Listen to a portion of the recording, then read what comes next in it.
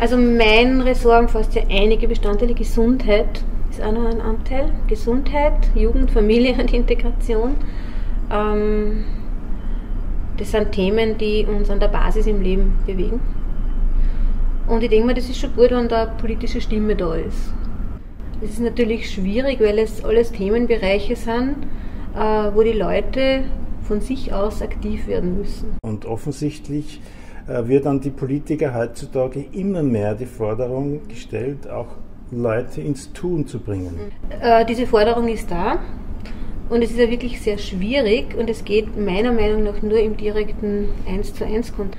Ähm, hier ist es immer wichtig, auch im Zusammensein mit den Menschen zu vermitteln, ich bin genauso Mensch mit den gleichen Themen ja, und möchte ihnen auf Augenhöhe begegnen. Äh, und meine Aufgabe ist es, in der Stadtpolitik diese Bedürfnisse, die da sind, so einzubringen, dass wir handeln können. Aber wieso ist es so schwierig, heutzutage Menschen so ins Tun zu bringen? Ich mhm. denke jetzt einmal an die Gesundheit. Man, ist man so übersättigt? Ist man so abgelenkt vom Leben rundherum, dass man an sich selbst gar nicht mehr denkt? Das ist sicher ein großer Anteil in der Thematik. Ja. Solange Gesundheit da ist, ist es ja kein großes Thema. Wenn es einmal nicht mehr so da ist, dann versuchen wir darüber nachzudenken, wo wir denn äh, an, den, an den Stellschrauben drehen können, dass das wieder funktioniert, dass Gesundheit wieder funktioniert. Es ist sicher unsere hektische, schnelllebige Zeit. Erwartungen an uns, die wir teilweise nicht erfüllen können, die mit unserer Gesundheit zu tun haben. Das ist einfach so. Hier gilt es auch schon sehr früh anzusetzen mit äh, Gesundheitsbewusstsein, auch im Sinne von Bindungsförderung. Bindung und Beziehung zwischen Menschen hat immer mit Gesundheit zu tun, immer. Äh, und das Bewusstsein ist teilweise nicht da und so lange nicht da, solange es uns gut geht. Es gibt äh, sehr viele ähm, Aktionen vom Bund und vor allem auch von den Ländern.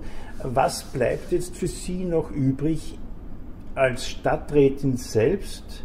Aktiv zu werden? Ja, wir haben schon einen eigenen Handlungsspielraum auch noch und müssen nicht nur auf die Aktionen von Bund und Land zurückgreifen.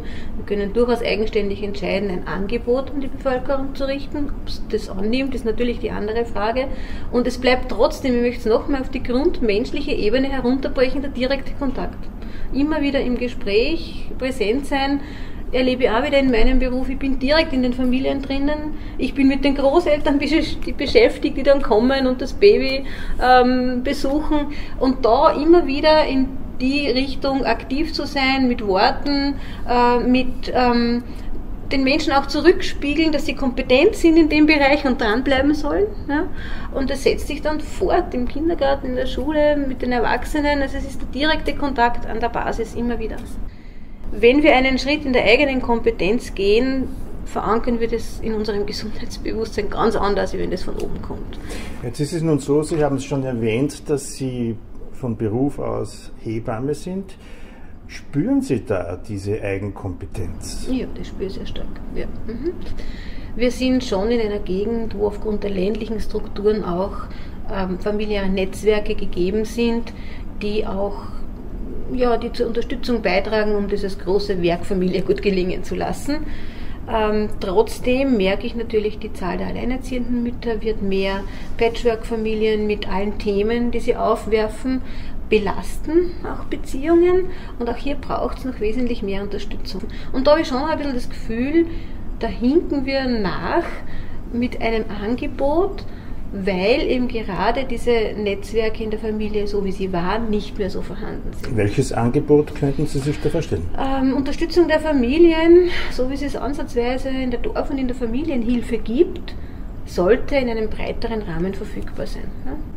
Wenn eine Frau ein Problem hat, alleinerziehend ist, vielleicht krank wird, ist es sehr schwierig, akut dafür zu sorgen, dass sie in der eigenen Wohnung, in der eigenen, im eigenen Umfeld mit ihrem Kind Hilfe und Unterstützung bekommt. Das geht so nicht. Ja. Das sind Ausnahmesituationen. Da hätte ich das Gefühl, wäre ein, ein, ein weites Betätigungsfeld auch der großen Politik Netzwerke aufzubauen, um hier Hilfestellung zu leisten. Wie steht äh, Weidhofen an der Ips zur Integrationspolitik? Wie ist der Iststand? Äh, haben wir noch Flüchtlinge zu erwarten? Sie sind ja eigentlich kaum sichtbar im Stadtgebiet mhm. oder redu reduziert sich das? Mhm. Es wird sich nicht reduzieren, das ist ganz klar. Und wenn wir ähm, allen Quartiergebern, allen Interessenten frei Hand lassen würden, würde die Zahl sehr steigen.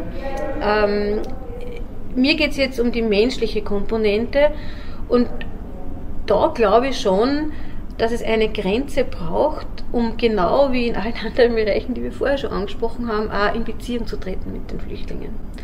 Es funktioniert nicht, wenn die auch in einem Quartier gut untergebracht sind, mit Wärme, mit Essen und sonstigen. Die brauchen genau diese menschliche Beziehung. Die Menschen sind traumatisiert. Ja. Äh, das sind, haben einen völlig anderen kulturellen Hintergrund und das braucht Annäherung und das geht nur in der 1 zu 1 Betreuung. Also ich bin der Meinung, ähm, die Asylwerber, die wir da haben, so in einer 1 zu 1 Betreuung landen, damit das gelingen kann. Weil, und wir müssen uns fragen, wie gelingt es? Also das heißt, äh, wenn es gibt genug Quartierangebote und Sie könnten auch noch wesentlich mehr Flüchtlinge hier in der Region unterbringen. Ja, was die Asyl, also was die Flüchtlinge betrifft, wird sicher genug Interesse geben. Jetzt sind mittlerweile über 120. Knapp 200. 200 sind es schon in der Region und die mhm. Situation hat sich eigentlich nicht verändert. Das heißt, äh, die Flüchtlingsprogramme dürften hier in der Region greifen oder verstecken die sich? Äh, die greifen sicher, aber es ist schon so, wie Sie sagen, es hat damit zu tun, dass es kein neues Thema für uns ist.